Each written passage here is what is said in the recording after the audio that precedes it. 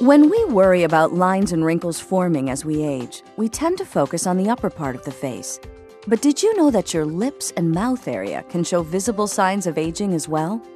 With age, fat and collagen that were once evenly distributed can deteriorate, resulting in thinner skin and noticeable lines and wrinkles.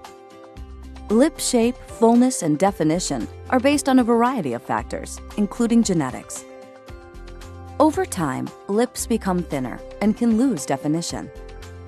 The cupid's bow of the upper lip begins to flatten. Vertical lines appear and become deeper with age. Even bone loss can occur, resulting in decreased lip volume and lengthening around the mouth. For more information, talk to your doctor to find out how you may be able to address these signs of aging.